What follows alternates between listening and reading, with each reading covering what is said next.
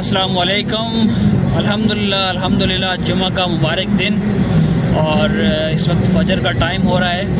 और बहुत बहुत बहुत टाइम बाद इस्लामाबाद के अंदर अल्लाह ताला ने बारान रहमत का नजूल किया है। अल्लाह करे कि ये बारिश पाकिस्तान के अंदर से खुश साली को ख़त्म करे और जो बीमारियाँ इस बारिश के ना होने की वजह से ज़ोर पकड़ रही थी। अल्लाह करे कि वो तमाम वबाएँ भी ख़त्म हो जाएँ।